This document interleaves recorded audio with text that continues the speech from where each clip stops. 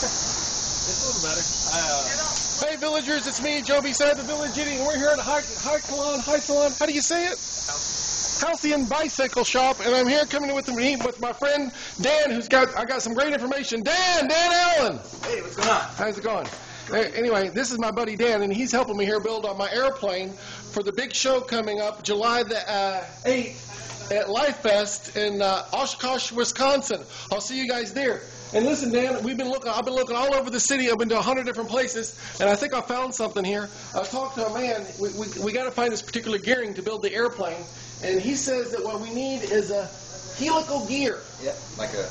Yeah, so I got some information about the helical gear, gear, and so my question to you is, what diameter are we going to need for this?